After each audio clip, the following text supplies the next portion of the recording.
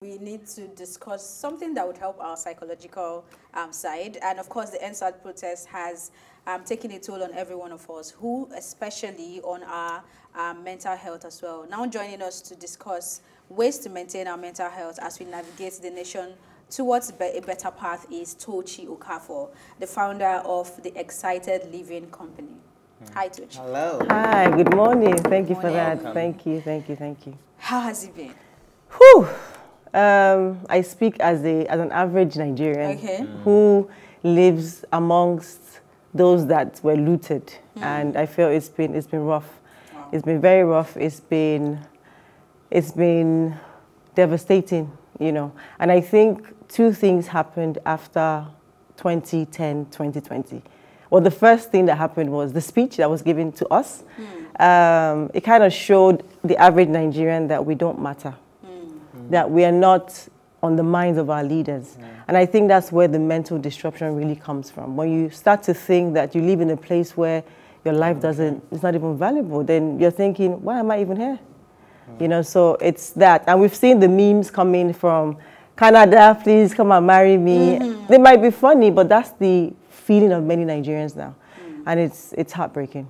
It is. All right. So, um, you know, a lot of people tend to um, ignore the trauma or the PTSD that comes with uh, protest, and um, even when it is peaceful. Yes. The fact that people are on the road, the fact that people are fighting for something, people tend to undermine it. And then I was talking this morning, and I realized that something that has been constant keywords. I underline them as keywords where everybody who has come out to recount after the 2010 2020 Yeah. incident is that I'm in a dark place. I'm traumatized. Um, this, but people are not picking up on those particular words traumatized, dark place. Um, not myself. I'm not, you know, certain words. And I think that this is a call for medical practitioners Yes. to go out there. Do you think that we should have more people that will do pro bono services? You know, go from, you know, even when you have a patient that comes to you from malaria, ask them about their mental health. Health, yes. Do you think we should throw that in as a bonus now in our mental? I think we should have thrown that in like 10 years ago. so, yes, we should. I think that, um, so two days ago, no, three days ago, I woke up to a swollen face. And I could, I touched my face, it wasn't hurting. So I knew that that face was a sign of, it's like a psychomatic disorder. If you, I don't know if you know what that is. That is mostly when your mental state affects your physical being. Hmm. So there is the need to have mental health conversations because mental health basically affects everything about you. Hmm. You lose appetite for food, you lose interest in things that you used to love, and the more that you allow that to fester, it's death without physical death is mind death, which I think is, is Okay. more the worst. So you said let's have more conversations Yes. on mental health, Yes. right? So let's do just that. Let's do just that. Um, so so if you are going to help someone watching to say, um, these are the things you might, might have noticed since the beginning of the protest or Yes. the end of the protest, or maybe even after the speech, that should tell you that you should get help, even if it's just a session or just talk to a friend. What Yes. are those telltale signs? First of all, in no particular order, a loss of appetite. Um, I've seen that many people say, I can't even eat. Something that you used to love and you've lost, yeah, some can't sleep. So a loss of appetite is a sign that you are disconnecting. Okay. Um, a loss for company. You want to be alone. I want to be in my room, put up my lights, be in a dark place. That's another sign that you are disconnecting.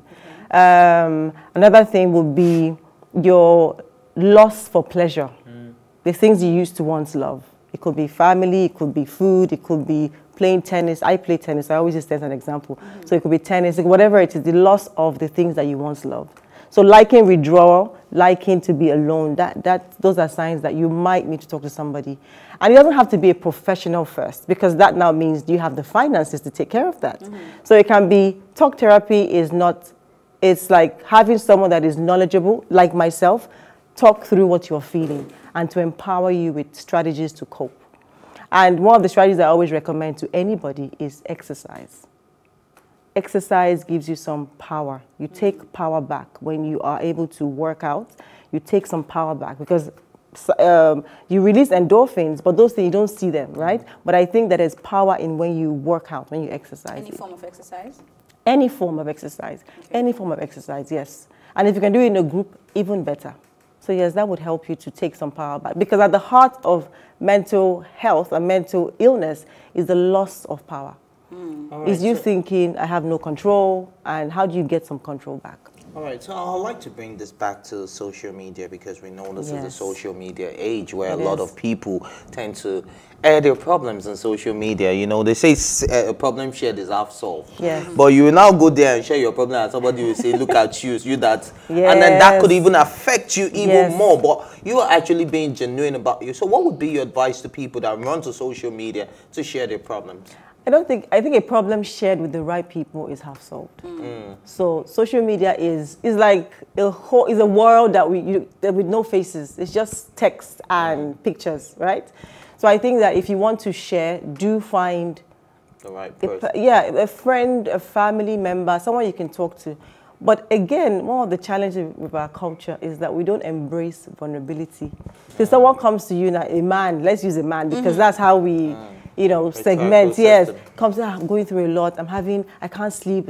Man up, Joe. What's the problem? You know, those things make people unable to vent. So we should also learn so I would, right Yeah. Things. So I always, when I do my lessons, I say I talk about mental health in two folds. First, your responsibility for your mental health, and then yours for other people as well. You know, the reason why I even brought up the social media because I saw a man who narrated how um, his siren went off. He has an alarm system in his house, and yeah. his siren went off, and he was so scared, thinking the looters are ah, on the street. Yes. And then someone said, "We were doing vigilante shift over here. You are talking about alarm system."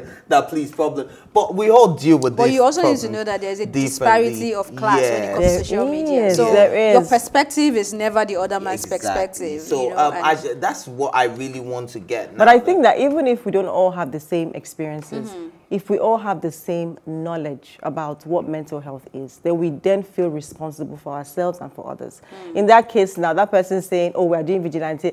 You know, that's where we need to learn to be different. To be empathetic doesn't mean I have to be in the same position. Because yeah. Mm. the guy was genuinely True. afraid. Yeah. There was, you know, looters in the days before. So he has every right to be afraid, even if he's a rich man. Mm. Yeah. You know, we have a problem. We, we, in our society, because again of the disparity between the poor and the rich, it's almost like the rich cannot cry. But that's also that's that's another reason why we should talk to ourselves mm -hmm. collectively as a people because everybody is dealing with something. Still staying on social media. Yes. We want to touch on media consumption now. What yes. would you advise people to do? I mean, the the information is just at your fingertips yes. right now. How would you advise them to to consume media? Let me not start answering the question myself. I think, I think consume media intermittently. There are a lot of social media handles that inspire. Mm -hmm. So after 2010, 2020, you know, I was really distraught at, because I was part of the peaceful protest. I'm all for a new Nigeria. I, it's about time. We've been here for too long. So definitely I was, you know, excited about what I was seeing. And then 2010, 20 comes and, you know, I'm devastated. But the truth is that there is still, so I was preaching hope after that because I feel like many of us might not leave Nigeria. Mm -hmm. So we have mm -hmm. to mm-hmm. fix this country because when the world is full, they will start rejecting In fact, us. it's safe to say many, many of us of will, will not, not Exactly. So I started to preach, let's preach hope, let's preach sanity. So social media, if you, if not if you can, you should, you know, pick places where when you read their posts, there is inspiration, there is hope being shared. Because at the end is whatever you focus on that really grows. So if you're focusing on negativity and how broken the system is, that's why I also am on the side of disseminating information that is relevant. Not, we don't have to know all the truths of pain, mm. but we need to know that we can come out of it. So balance it out. Know what is happening in your country. I think it's very important. You know that there is mishap, there is injustice, because that keeps you conscious but um, limited so you don't drown and it doesn't also kill you. All right, so um, I've also seen, um, um I, I want to touch on the healthcare system in Nigeria, especially where, mm. where it has to do with mental health, because yes. I've seen a lot of mediocres and char charlatans that just come out and say, um, I'm a psychiatrist, I'm a psychologist, I'm mm -hmm. a mm-hmm. this, I'm a that. Mm -hmm. And I think sometimes I end up okay, I've, I've seen a therapist once, and okay. I think most times I ended up advising my therapist than my therapist did to Are me. Sure no, I'm serious. No, no, I'm serious. Okay. Like, because no disrespect in I case you're it, watching, yeah. sir. no disrespect, but I just feel like I see a lot of mediocrity in that field. You know, a lot of them do not even have themselves put together. Yes, we're all human. Yes. But how do you think that we can do better in this part of the country? What amount of education needs to go into it for us to be better in Nigeria specifically? I think one of the things that has happened to us as a nation is that we've lost the spirit of excellence. So some of these therapists or any field, they might have the qualification, but then lack the connection. Hmm. So I think that aside from going to school and learning, I did. I'm a. I have a degree in psychology and all of that. But aside from that, I have embodied the need to be empathetic. How do I do that? Through personal learning. I'm taking courses regularly. I'm also interacting with people. I am understanding what could happen to a person so I can help them the best way possible. Hmm. So yes, our mental health, our healthcare should be revamped. It's part of the EndSARS conversation. Should is be reformed. If we're reformed, yeah, it's, it should be reformed because we need to have professionals. And that one of the challenges we have is that when someone says, I have this qualification, they, most people stop personal learning. All right, so let me put you in the spot now. If you are placed in the committee for the reformation of the police Yes. um, system, what are the first three things you would do for the police system? curriculum. So I think one of the biggest thing is the onboarding system. I would like to know what is being told to a policeman. So I fill the form, I apply for the job, I go to the office, I get the interview, and I, I'm saying, okay, I'm selected. What happens from that selection to when they hit the streets? Ah. So we have to review the onboarding of the police. Ah. Okay. We have to review the curriculum ah. and then the continuous training. Mm. Those are the three things. I actually have a document I prepared for Oh. maybe like years ago because I've always wanted to work with the police. I have experienced some police um, harassment, Yeah. yes, and and I know that it's something that we need to talk about. So yes, I have written it before. I talk about it a lot, but maybe it's time I'm to sure you're willing to share as well. I'm very willing. Tea time, tea time as a candidate. Taking it back to what you said earlier when we started, you said you are an average person Yes. who resides amongst those that were looted. Absolutely. So you this is your line of profession, getting people to understand their mental wellness and how to live a better life. Yes. How has that affected your business? Because you're in the midst of those people. Do, do they understand, um, aside looking for finances to revamp their business and, and build everything that um, they've lost, do they understand that they need that mental health um, services right now? Unfortunately, many people don't understand that they need mental health services. And because the way mental health is delivered conversationally, most people don't see the value of what happens. Because most things that happen are happening in your subconscious or they're intangible things. So because it's not, you know, when we do, just like when I say I'm a wellness consultant, I do wellness consulting, people don't understand it like they understand business. Because business transforms to money. Money. But wellness transforms to life. Mm. Because the more that you have control over your mind, over your physical health, over your body, the more powerful you are. And that's, the, that's where money can come from. So I teach mental health because I feel like we, we, we in, I think it's against our culture.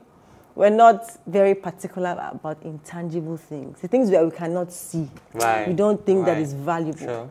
And mental health conversations are intangible. I, I like I like the fact you touched on that because um, Nigeria alone will affect your mental health. It health. will.